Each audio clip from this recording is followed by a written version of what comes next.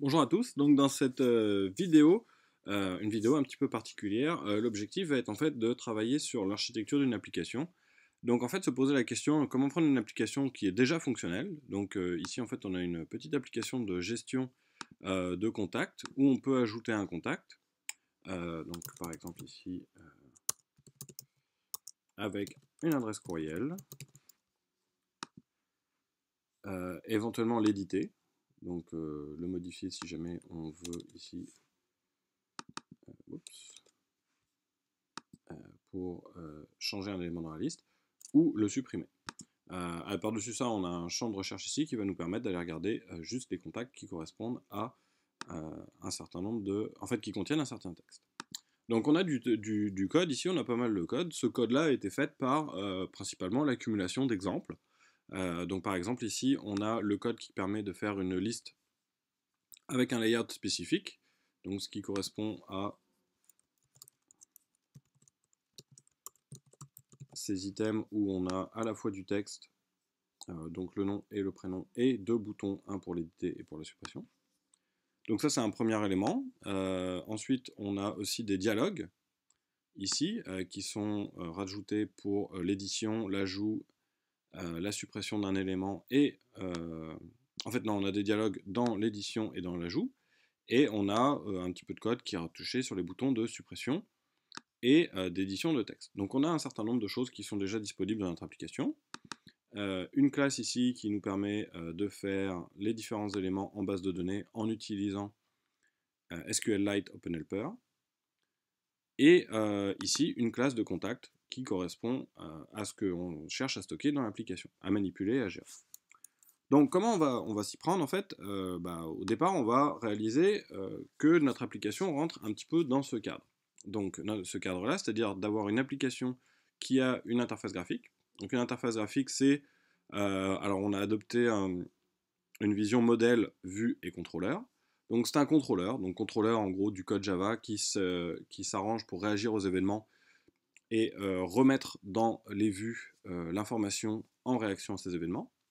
Des vues, qui sont principalement les fichiers XML de notre application qu'on va trouver au niveau du répertoire de layout, ici, et un modèle, et c'est souvent le modèle qui est la partie la plus importante du code, où finalement on va stocker des classes, donc ici notre seule et unique classe c'est des contacts, qui représentent finalement les classes Java de, de la donnée qu'on veut représenter et puis un stockage. Donc on va voir à quoi correspondent les couches de service et repository, et pourquoi elles peuvent être utiles dans notre application.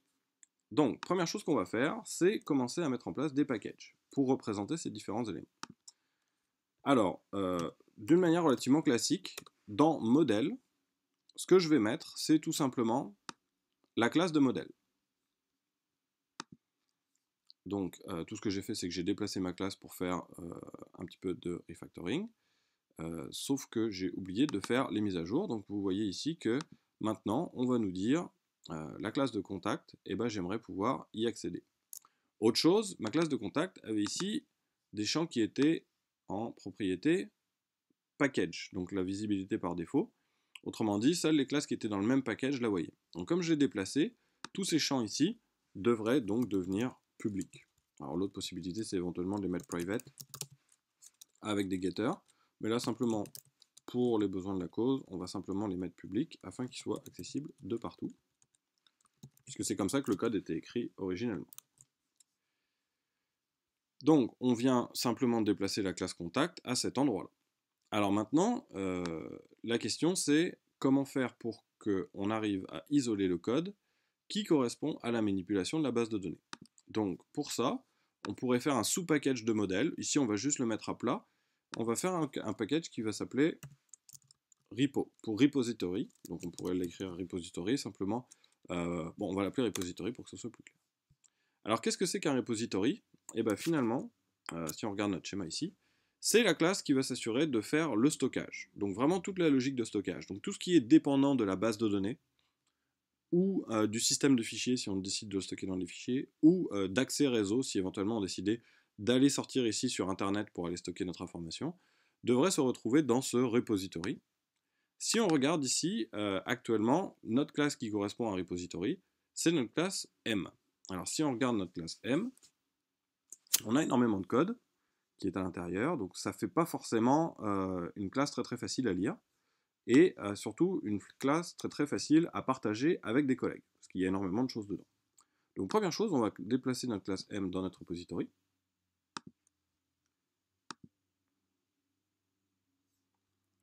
Voilà. Et ce qu'on va faire, c'est qu'on va créer une interface,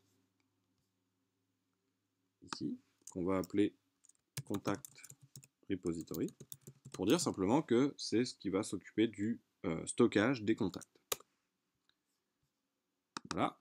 Et en fait, dans M, on va essayer de regarder quelles sont les méthodes qui sont nécessaires pour ce repository, c'est-à-dire celles qui ne sont pas dépendantes de la base de données, mais celles qui sont euh, nécessaires d'un point de vue utilisateur, donc les gens qui veulent stocker des contacts.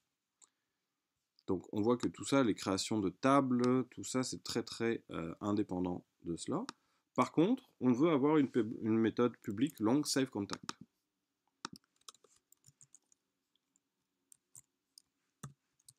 C'est la première méthode qu'on va vouloir avoir. Ensuite, au niveau de M, on veut aussi une méthode pour aller chercher un contact par son identifiant. Donc encore une fois, ici, au niveau de notre contact repository, on va avoir une méthode qui doit aller chercher son contact par identifiant. On cherche aussi à pouvoir aller chercher un contact par son email. Euh, pardon.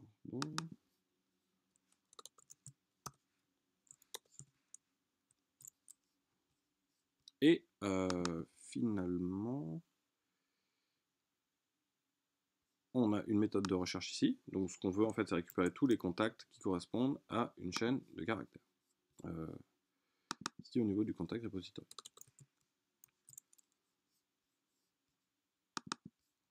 et finalement, aller chercher tous les contacts selon une liste ici.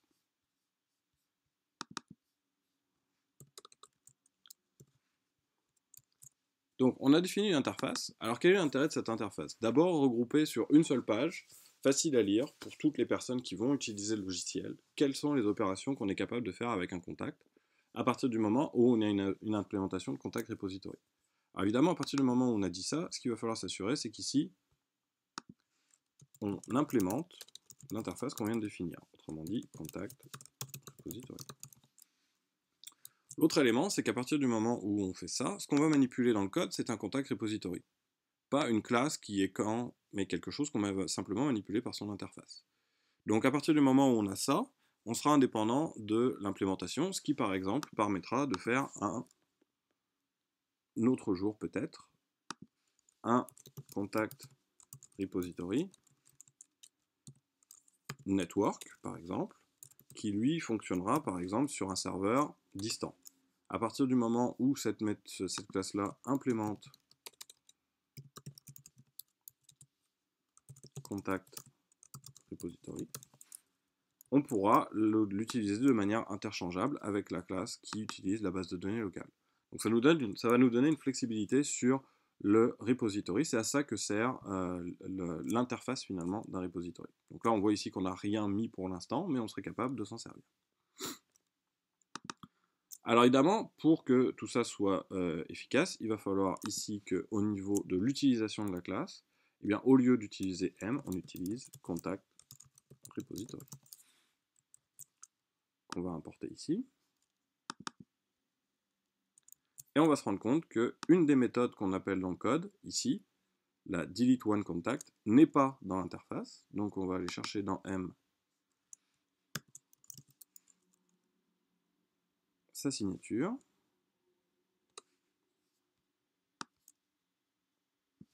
Et l'ajouter à notre interface.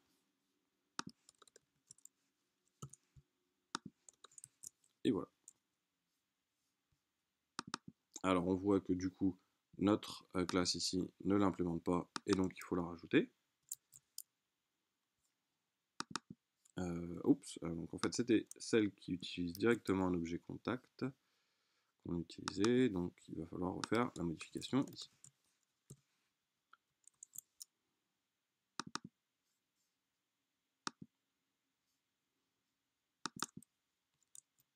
Voilà.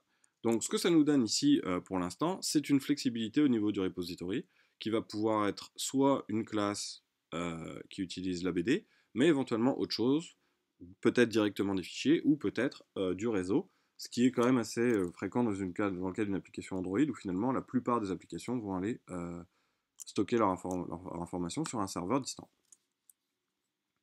Donc on se retrouve avec ceci. Alors la deuxième étape, par-dessus euh, la couche de repository, c'est d'aller créer une couche de service. Alors on va créer le package tout de suite, et ensuite on va voir quel est euh, l'objectif de cette couche-là. Donc on va la regarder dans notre code au niveau de notre main activity, et on va se rendre compte que euh, là le code est relativement restreint. Par contre, si jamais on regarde dans le dialog add, on va voir qu'il y a un mélange de plusieurs choses à l'intérieur de notre code. Donc la première chose dans Dialog Add, c'est les éléments d'interface graphique. On voit ici la récupération d'une vue, d'un bouton, de texte, d'édition, etc. Mais on voit ici que dans le OnClick Listener, on a un certain nombre de choses qui se font sur le modèle.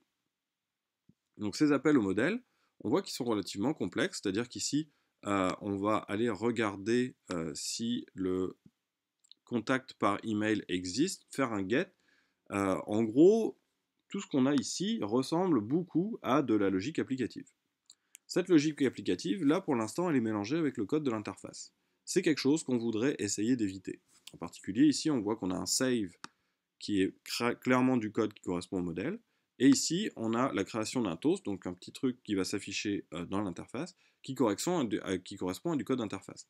Donc on a tout joyeusement mélangé. Alors quelle va être l'idée euh, là-dedans? Ça va être de dire que finalement, au niveau de l'ajout d'un contact, on va avoir une logique applicative. Où est-ce qu'on va mettre cette logique applicative? Eh bien, on ne va pas la mettre dans le repository. Pourquoi? Parce que le repository est vraiment quelque chose qui s'occupe simplement du stockage. Donc, on va la mettre dans un service et on va commencer à définir notre service. Alors, on va y aller directement avec une classe. On va l'appeler contact service et fini. Alors qu'est-ce que c'est qu'un contact service? Bah, Finalement c'est une méthode, c'est une classe qui va permettre de, euh, par exemple, sauver un produit, ah, un contact, pardon, qui va être un contact C. Donc on va aller importer C et essayer de voir à quoi ça correspondrait ici.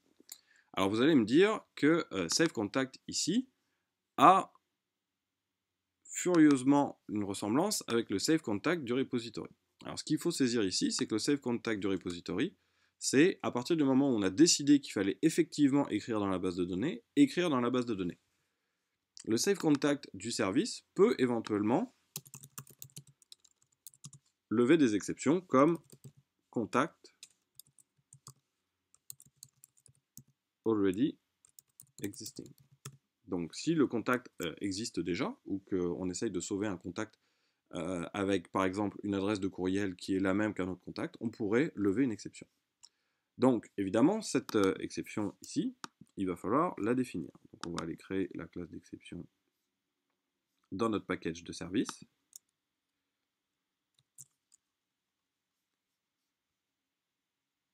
Et regardez quel serait le code de cette méthode. Alors le code de cette méthode, on en a déjà une petite idée, parce qu'en fait, il y a quelqu'un qui a écrit ceci.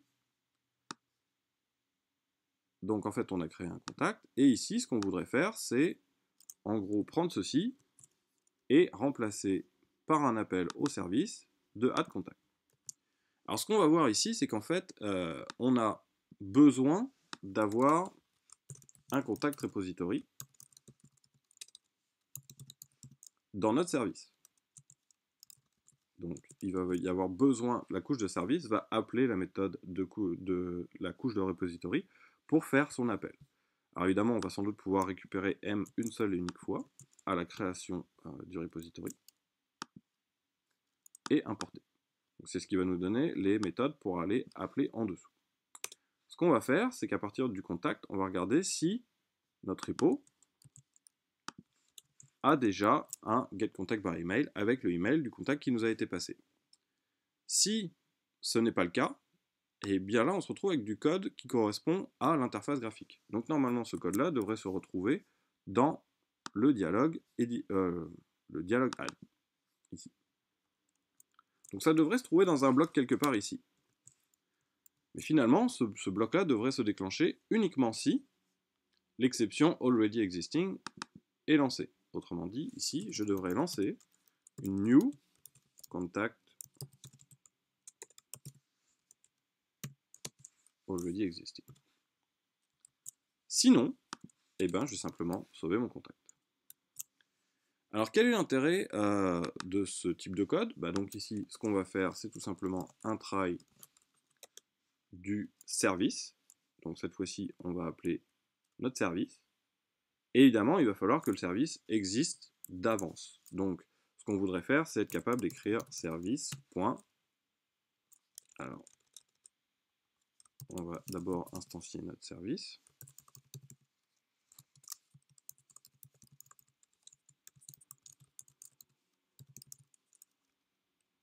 Euh, contact. On va y arriver. Voilà. Donc, appeler notre point save de notre contact. Et ici, on va se ramasser tout simplement dans le catch de notre exception contact already existing. Alors, quel est l'intérêt de ce code? Bah, Premièrement, euh, maintenant, si jamais on veut réutiliser la méthode SaveContact ailleurs dans l'application, on va pouvoir l'appeler ailleurs, donc sans être obligé de recopier le code de cette logique applicative. C'est sans doute le plus gros intérêt, c'est-à-dire qu'ici on a dit ce qu'on voulait dire par sauvegarder un contact.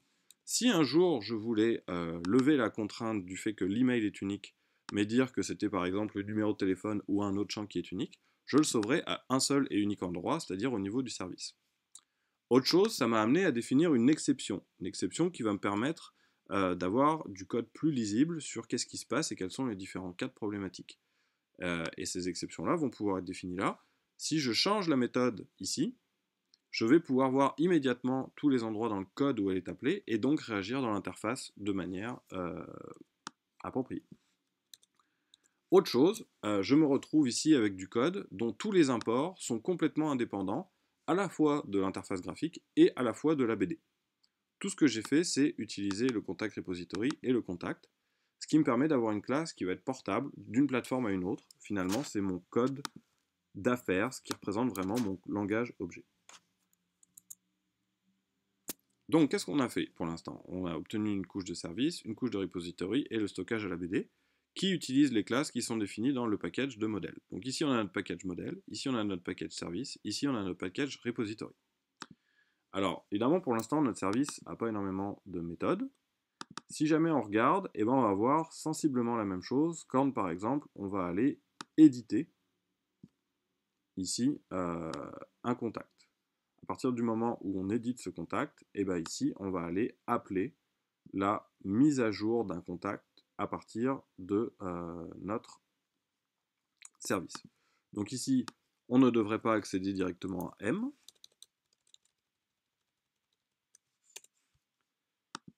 et on ne devrait pas faire notre save nous-mêmes. Donc en fait, ce code-là, qui est un accès direct à la BD, d'une certaine manière, devrait être remplacé par, encore une fois,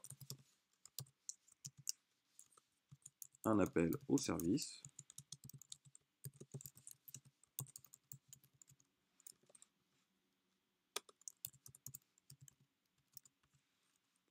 Et cette fois-ci, eh bien, c'est une édition. Donc, on va... Euh, mettre un accent quelque part. Ici.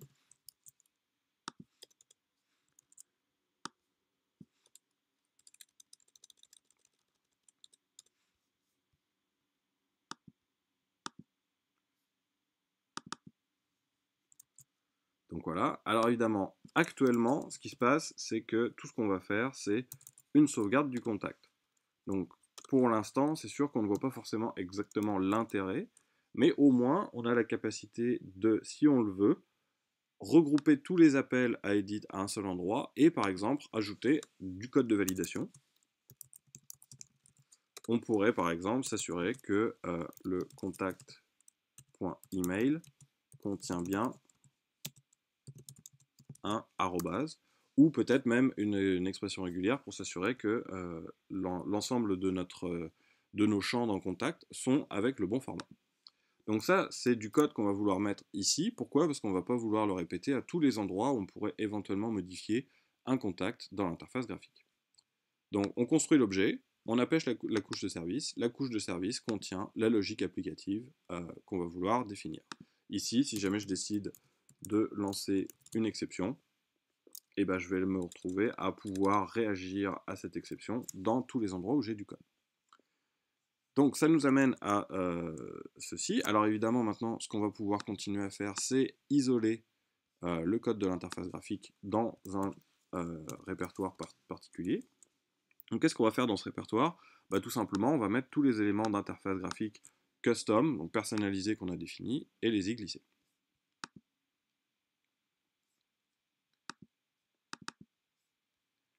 Donc, on va se rendre compte ici euh, qu'il va falloir passer un certain nombre de méthodes en public, puisqu'on est passé à travers un, nouveau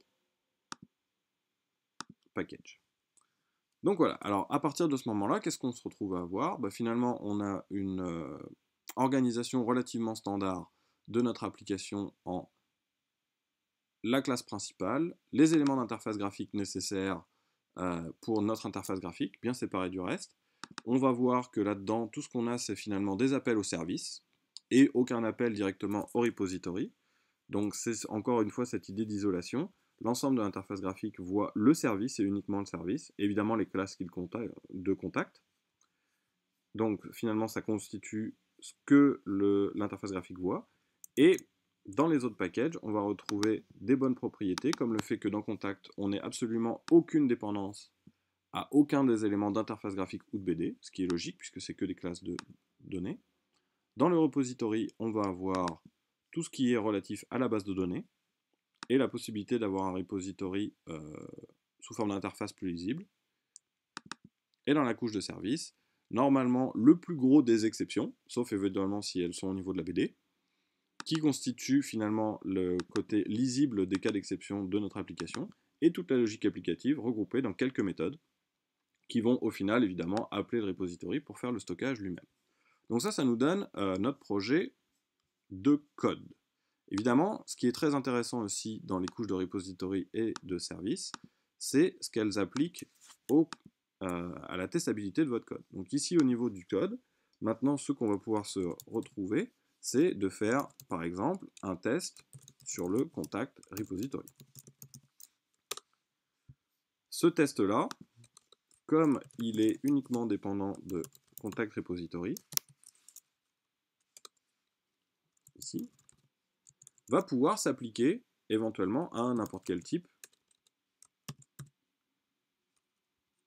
de contact repository. Alors évidemment, la plupart du temps, euh, on va utiliser la base de données. Donc dans notre cas ici, ce qu'on va faire, c'est qu'on va se retrouver avec un code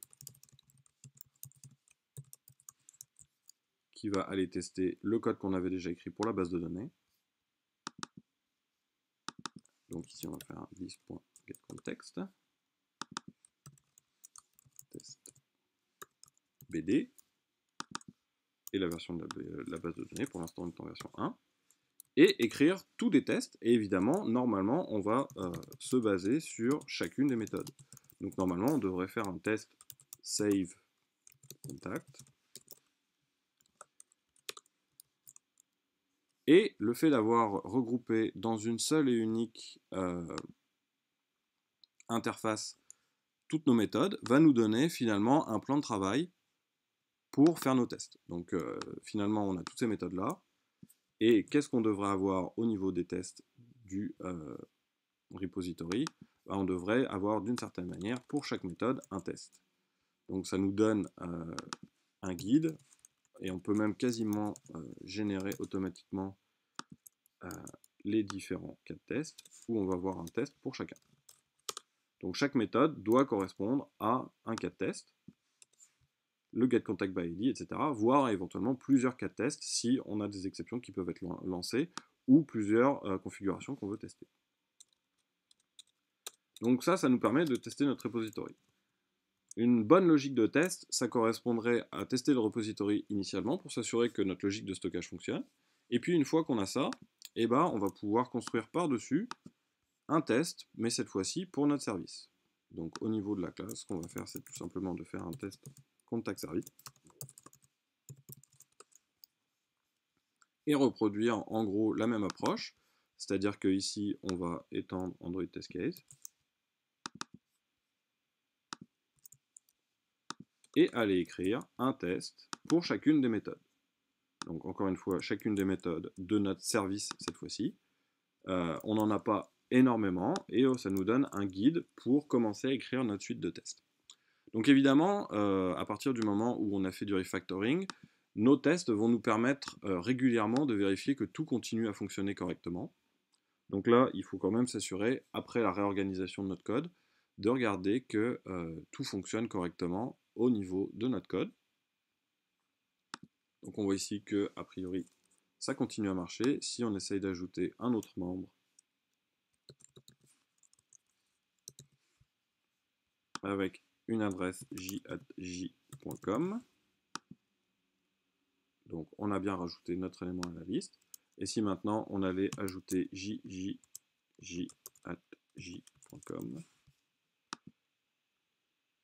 on a toujours notre fonctionnement qui dit notre utilisateur avec cet email existant donc on ne l'a pas rajouté à la liste. Donc ce qu'on voit, c'est du code qui est euh, finalement organisé avec une, arborescence relativement standard. On a augmenté la testabilité de notre code puisque finalement on a extrait la sauvegarde d'un membre ou son édition de l'interface graphique pour le rajouter dans une classe où on a une méthode claire qui est facilement testable. Et on a euh, également identifié les différents éléments d'interface graphique dans un package qui lui est dédié.